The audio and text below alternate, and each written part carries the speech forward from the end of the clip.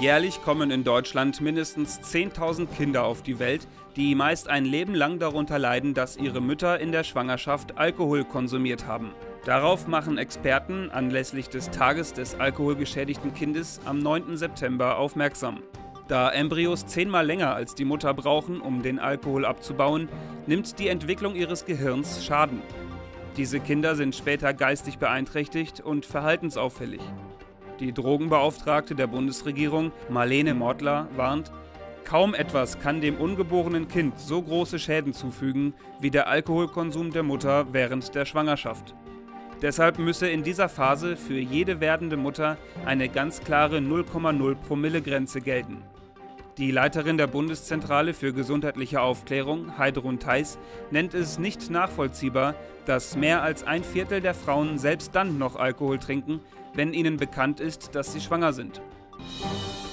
Eines der ungewöhnlichsten Bistros in Deutschland öffnet am 10. September seine Türen.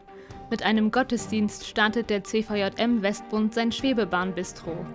In drei ausrangierten und renovierten Waggons des weltberühmten Wuppertaler Wahrzeichens finden 36 Gäste Platz.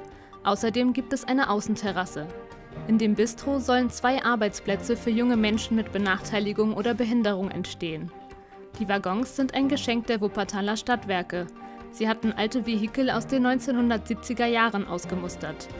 Die Bürger konnten bei einer Online-Abstimmung entscheiden, wer eine Bahn kostenlos bekommen sollte.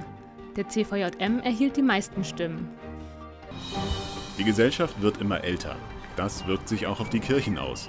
Sie stehen vor der Herausforderung, Menschen über 60 für den Gottesdienst und die Mitarbeit in den Gemeinden zu gewinnen. Dazu brauche es neue Ideen, so die methodistische Pastorin Ulrike Burkhardt-Kibitzki. Sehen Sie einen Kommentar von ihr, wie die Kirche für eine älter werdende Gesellschaft attraktiv bleiben kann. Auch in der Kirche ist es so, dass immer mehr Ältere da sind und dass es nicht mehr selbstverständlich ist, dass Kinder und Familien einfach so nachkommen. Und früher hat die Kirche Probleme gehabt damit, dass so viele Ältere da sind. Heute ändert sich das. Heute versuchen wir, einen offenen Zugang dafür zu bekommen. Kirche über 60 soll positiv sein. Die Chancen, die Potenziale, die damit verbunden sind, die wollen wir nützen. Darauf möchten wir mehr Wert legen.